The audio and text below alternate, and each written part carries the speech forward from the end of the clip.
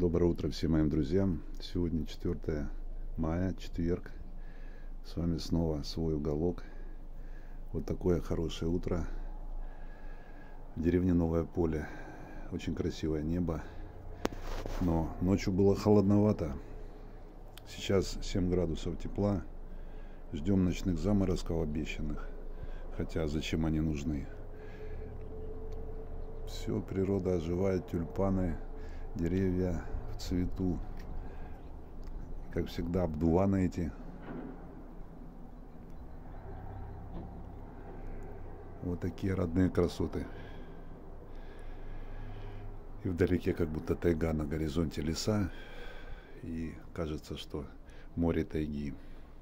Ощущение такое пространство, свежий воздух. Очень классно у нас здесь. Всем добра.